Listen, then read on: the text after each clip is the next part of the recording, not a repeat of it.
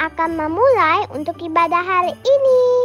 Tapi sebelumnya dengarkan peraturan ibadah kita dulu ya.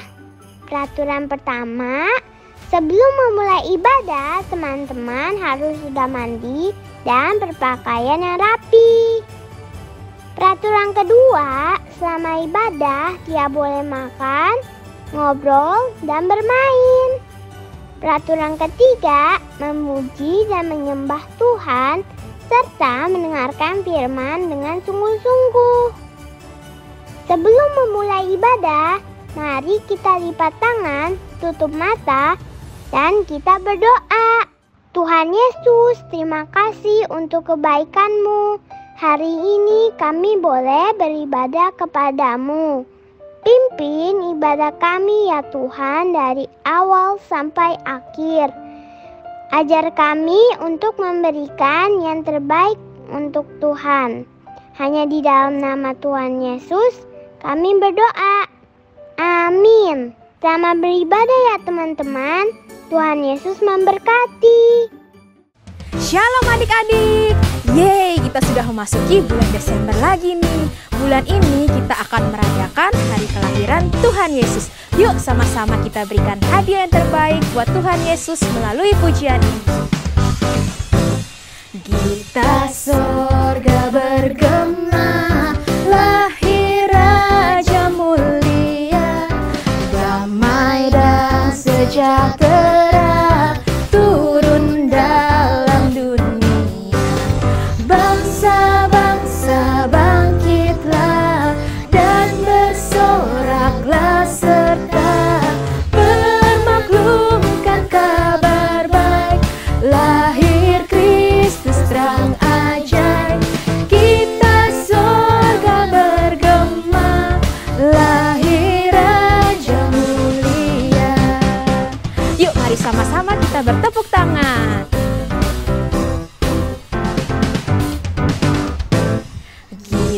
Sorga bergema Lahir Raja mulia Damai dan sejahtera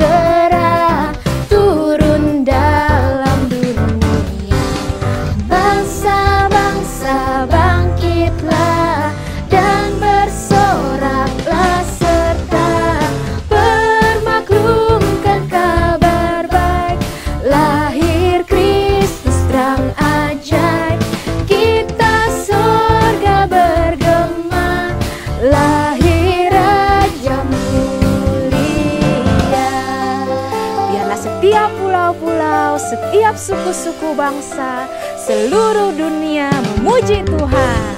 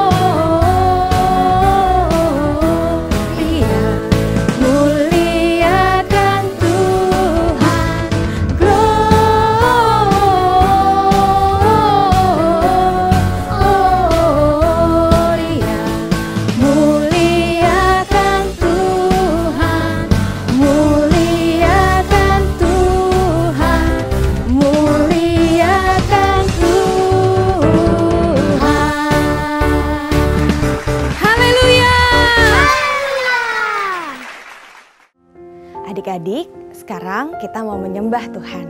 Adik-adik yang di rumah atau di mana pun adik-adik berada, yuk sama-sama kita kasih sikap kita yang terbaik untuk datang sama Tuhan. Terlebih, kita mau berikan hati kita yang terbaik buat Tuhan Yesus. Kita mau sama-sama sembah Tuhan dengan sungguh-sungguh, karena Tuhan Yesus satu-satunya Allah yang layak untuk kita sembah.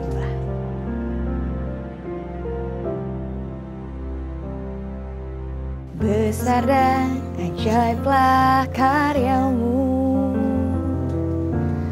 Adil dan benarlah jalanmu. Raja segala bangsa yang maha kuasa Mulia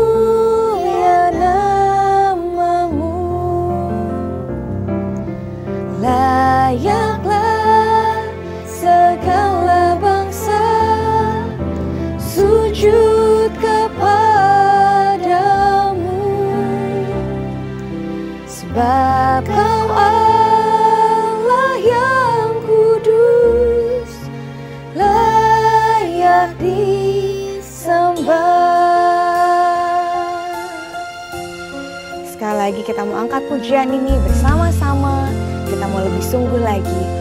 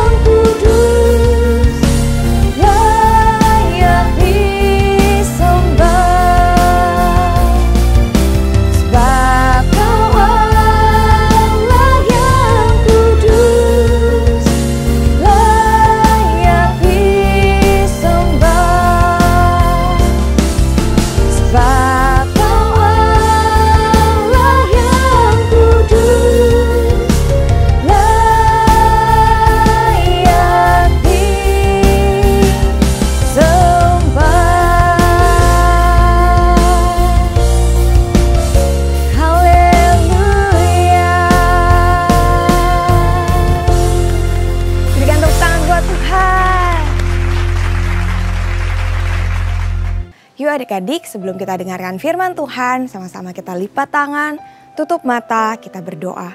Terima kasih Tuhan Yesus, terima kasih Bapa kalau kami boleh memuji dan menyembah Tuhan. Biarlah segala pujian kami, segala penyembahan kami hanya untuk kemuliaan bagi nama Tuhan. Kalau sebentar Tuhan kami mau dengarkan firman-Mu, biarlah Engkau Tuhan yang ada bersama kami, ajar kami untuk duduk diam mendengarkan firman Tuhan. Biarlah firman itu boleh tertanam dalam setiap hati kami, bahkan bertumbuh, berbuah di dalam hidup kami. Dan kami boleh lakukan dalam kehidupan kami sehari-hari. Terima kasih Tuhan Yesus, kami siap dengarkan firman. Hanya di dalam nama Tuhan Yesus kami berdoa. Haleluya. Amin.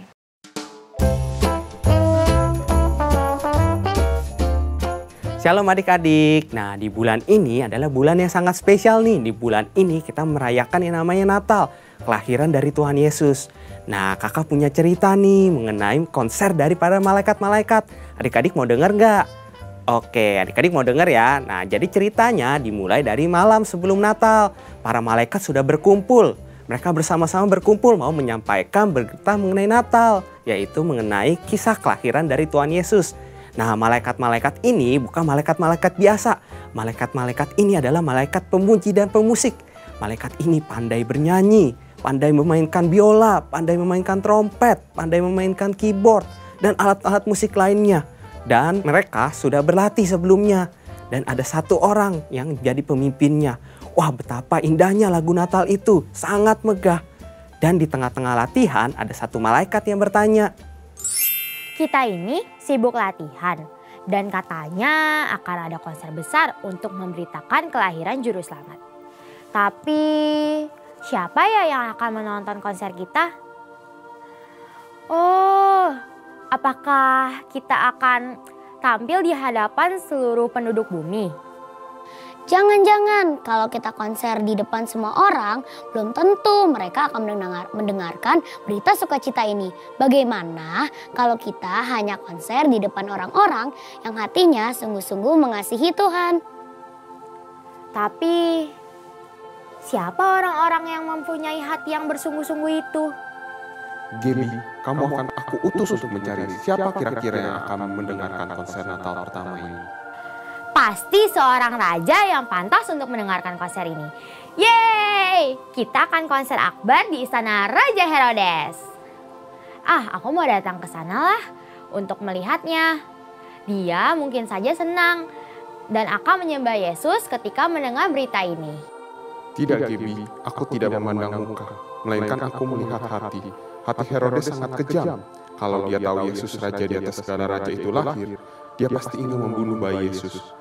Bahkan ia tidak akan segan-segan membunuh bayi-bayi di Bethlehem yang berumur dua tahun ke bawah. Lihatlah, hati Herodes yang sangat iri, kejam, bengis, angkuh, dan tidak kenal belas kasihan. Dia bukanlah orang yang takut akan Tuhan, apalagi mengasihi Tuhan. Baiklah Tuhan, Engkau yang maha tahu dengan apa yang akan terjadi ke depannya. Ternyata Raja Herodes itu jahat. Dia tidak pantas untuk mendengarkan dan menonton konser kami. Hmm, aku pergi ke mana lagi ya? Oh iya, aku pergi ke hadapan imam-imam kepala dan ahli Taurat saja. Mereka adalah orang-orang yang rajin membaca firman Tuhan. Mereka pasti akan senang ketika mendengar kelahiran juru selamat yang sudah dinubuatkan oleh para nabi. Wih, kita akan tampil di hadapan orang-orang yang sangat pandai membaca kitab suci. Gebi, Gebi, Bukan setiap orang yang berseru Tuhan Tuhan yang melakukan kehendakku baby. Memang mereka rajin membaca kitab suci. Mereka tahu semua nubuat-nubuat nabi. Bahkan mereka hafal semua ayat-ayat itu. Tetapi sayang sekali Gaby, hati mereka telah dingin. Ketika mereka mendengar bahwa Mesias, Yesus Kristus telah lahir, mereka bisa memberitahu kepada Raja Herodes bahwa juru selamat itu lahirnya di Bethlehem. Tetapi mereka sendiri tidak datang ke Bethlehem dan ikut menyembah Yesus. Mereka seperti orang yang membangun rumah di atas pasir. Gaby, mereka tahu firman Tuhan, tetapi tidak mau melakukan firman Tuhan. Mereka adalah orang-orang yang munafik. Hah? Jadi, jadi ketika mereka tahu tentang kelahiran Yesus, mereka hanya diam saja. Ya, hati mereka tidak sungguh-sungguh mengasihi Yesus. Mereka bukanlah orang-orang yang akan menonton konser kalian. Oh, Baiklah Tuhan, Engkau yang tahu apa yang akan terjadi nanti. Gaby, aku sudah menyediakan penonton untuk konser Natal yang pertama ini. Benarkah Tuhan? Oh, Tuhan, tapi jika bukan di istana raja, ataupun bukan di hadapan ahli-ahli Taurat, lalu di manakah kami akan mengadakan konser ini? Pergilah ke sebuah padang di sekitar Bethlehem ini. Padang? Jadi konser ini tidak di dalam ruangan? Wah, kita akan konser di outdoor, di udara terbuka. Wah Tuhan, ini adalah ide yang bagus. Pasti konser di Padang itu sangat luar biasa. Tapi kan di Padang itu hanya ada gembala-gembala. Ah ya sudahlah, aku akan tetap pergi ke sana. Dan saatnya tiba, malaikat-malaikat turun dari surga. Lalu seorang malaikat memberitakan kelahiran Yesus kepada gembala-gembala itu. Setelah itu konser dimulai. Kemuliaan Tuhan bersinar meliputi gembala-gembala dan mereka ketakutan. Dan akhirnya mereka langsung percaya akan berita yang dibawa oleh para malaikat. Mereka segera pergi ke Bethlehem untuk melihat apa yang terjadi di sana seperti yang diberitahukan Tuhan kepada mereka. Nah, adik-adik sudah melihatkan drama tadi di antara orang-orang Israel yang penting-penting yang dipilih itu adalah para gembala.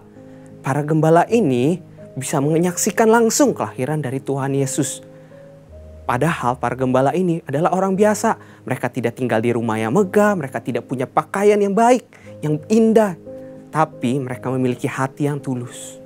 Kisah mengenai para gembala ini yang mendapatkan berita mengenai Natal, kelahiran dari Tuhan Yesus Kristus, Sang Juru Selamat, ini tercatat pada Lukas 2 ayat 8 sampai 20. Tercatat pada Alkitab bahwa pada malam hari gembala-gembala ini didatangi oleh seorang malaikat dan mereka sangat ketakutan. Jadi adik-adik, kita hari ini bisa belajar, belajar dari para gembala Gembala-gembala ini memiliki sikap hati yang mau percaya kepada firman Tuhan. Ketika para malaikat datang untuk mengabarkan berita mengenai kelahiran Tuhan Yesus, para gembala ini percaya. Sangat berbeda dengan Raja Herodes yang tercatat pada Matius 2 ayat 3 sampai 6. Di situ dikatakan bahwa ketika Raja Herodes mendengar berita mengenai kelahiran Tuhan Yesus, Raja Herodes ini menjadi sangat iri dan bahkan ia ingin membunuh Tuhan Yesus. Jadi adik-adik, bagaimana sikap hati kita ketika kita mendengar firman Tuhan? Dan bagaimana sikap hati kita ketika kita mau menerima firman Tuhan tersebut? Jadi adik-adik hari ini kita mau belajar juga dari ayat hafalan kita hari ini yang diambil dari Matius 13 ayat 23a. Yang ditaburkan di tanah yang baik ialah orang yang mendengar firman itu dan mengerti dan karena itu ia berbuah. Yang artinya orang tersebut ketika mendengar firman Tuhan lalu ia berdampak positif kepada keluarga. Ia menjadi berkat bagi orang-orang di sekitarnya. Nah, adik-adik di sini siapa yang menjadi berkat bagi orang-orang di sekitar? Kalau mau, yuk kita adik-adik kita sama-sama berdoa. Tuhan Yesus, terima kasih Tuhan atas berkatmu hari ini ya Tuhan. Hari ini Tuhan kami telah sama-sama belajar Tuhan dari para gembala-gembala ini Tuhan. Yang memiliki sikap hati yang baik Tuhan. Biarlah Tuhan sikap hati ini Tuhan bisa kami miliki Tuhan dan kami bisa berdampak Tuhan bagi orang-orang di sekitar kami Tuhan. Kita bisa menjadi berkat Tuhan. Kami serahkan Tuhan hidup kami sepenuhnya hanya dalam namamu. Hanya dalam Tuhan Yesus Kristus kami berdoa. Amin.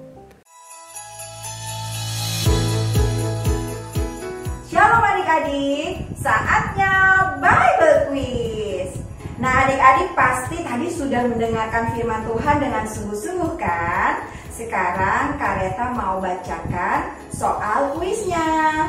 Kita mulai dari kelompok pertama yaitu toddler little blessing sampai dengan sekolah minggu kelas kecil. Dari playgroup sampai dengan kelas 1 SD.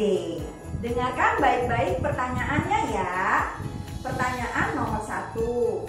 Judul firman Tuhan hari ini adalah A. Malaikat dan para gembala B. Malaikat dan bayi Yesus Ya, jawaban yang benar adalah A. Malaikat dan para gembala Nomor dua, pertanyaan berikutnya adalah Orang yang pekerjaannya menjaga kambing dan domba adalah A. Malaikat B. Gembala Ya, jawaban yang benar adalah B. Gembala.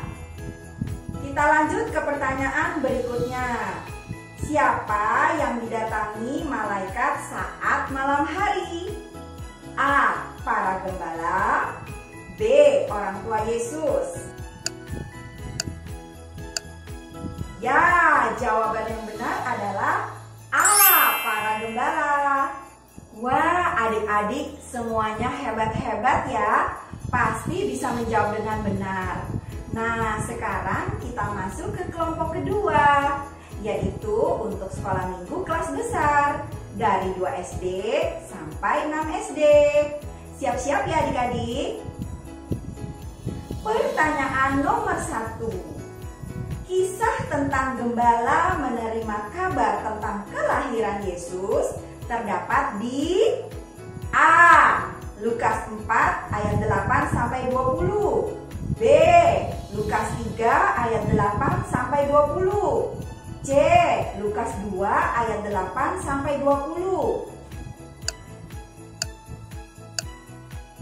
Ya, jawaban yang benar adalah C. Lukas 2 ayat 8 sampai 20. Pertanyaan berikutnya. Kabar apa yang dibawa malaikat kepada para gembala? A. Kabar tentang kematian Yesus. B. Tentang kelahiran Yesus Sang Juru Selamat. C. Kabar tentang kenaikan Yesus. Ya, jawaban yang benar adalah B. Tentang kelahiran Yesus, Sang Juru Selamat. Kita lanjut ya ke pertanyaan nomor 3. Mengapa para gembala yang dipilih untuk melihat langsung kelahiran Yesus? A. Karena mereka teman Yusuf dan Maria. B. Karena mereka memiliki hati yang percaya firman Tuhan. C karena gembala adalah orang yang dipercaya. Ya, jawaban yang benar adalah B. Karena mereka memiliki hati yang percaya firman Tuhan. Kita lanjut ya ke pertanyaan nomor 4.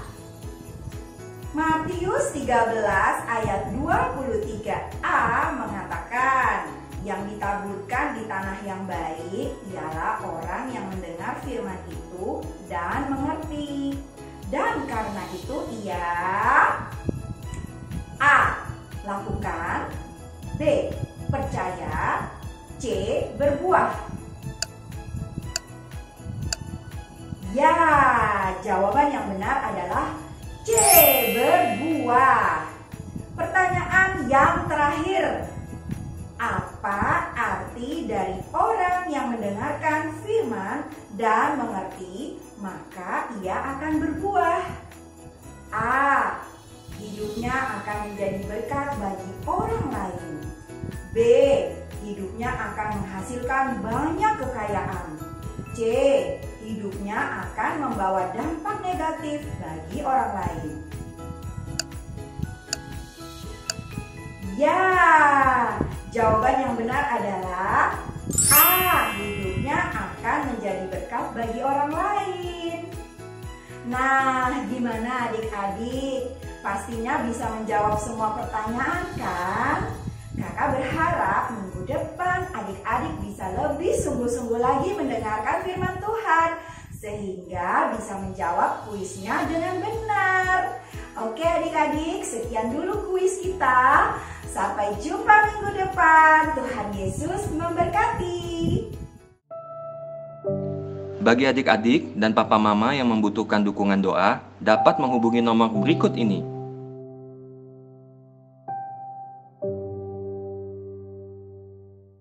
Shalom teman-teman, ibadah hari ini sudah selesai. Tapi sebelumnya kita berdoa dulu yuk, kita lipat tangan dan tutup mata, kita berdoa. Tuhan, kami mengucap syukur atas ibadah hari ini. Tuhan sudah memimpin kami dari awal hingga akhir ibadah. Kami mengucap syukur masih bisa beribadah dari rumah kami masing-masing. Kami juga berdoa agar Indonesia dijauhi dari COVID-19 dan krisis ekonomi segera berlalu. Tuhan, kiranya penuaian jiwa yang terbesar dan terakhir boleh terjadi di Indonesia. Di dalam nama Tuhan Yesus, haleluya. Yesus, kami mau berdoa untuk Bapak Presiden Joko Widodo dan wakilnya Bapak Maruf Amin, beserta beserta menteri-menterinya. Tuhan berikan mereka hikmat dan roh yang takut akan Tuhan, supaya mereka bisa memimpin bangsa Indonesia dengan baik. Dan, dan Tuhan kita juga berdoa untuk um, Opa Niko dan Opa Yanto, berikan mereka hikmat dan roh yang takut akan Tuhan um, supaya mereka bisa membawa gereja Tuhan di era Pentakosta yang ketiga. Dalam nama Tuhan Yesus kami berdoa. Bapa yang ada di dalam surga, saat ini kami bersatu hati berdoa untuk para tim medis. Berkati, lindungi dari COVID-19, serta berikan hikmat dan roh yang takut akan engkau dalam menjalankan tugasnya sehingga semakin banyak orang yang disembuhkan. Kami juga berdoa untuk teman-teman dan orang-orang yang sedang sakit. Kiranya Engkau memberkati ya Tuhan. Kau cukupkan semua yang mereka butuhkan, serta jamah dan pulihkan dengan sempurna. Terima kasih Tuhan Yesus, di dalam nama Tuhan Yesus, kami sudah berdoa dan mengucap syukur. Haleluya, amin. Shalom adik-adik, kakak percaya kita semua telah mendengarkan kebenaran firman Tuhan. Biar kita semua bukan hanya menjadi pendengar-pendengar firman Tuhan, tetapi kita semua bisa menjadi pelaku-pelaku kebenaran firman Tuhan. Mari kita siapkan hati untuk mendapatkan berkat yang datangnya daripada Tuhan Yesus. Kita angkat kedua tangan kita. Kiranya berkat kasih karunia dari Allah Bapa damai sejahtera dari Tuhan Yesus, serta persekutuan yang manis dengan Roh Kudus menyertai kita sekalian dari sekarang sampai Maranatha Tuhan Yesus menjemput kita di awan-awan yang permai bahkan sampai selama-lamanya. Kita yang percaya dan telah diberkati oleh Tuhan Yesus, mari kita sama-sama katakan amin. Tuhan Yesus memberkati.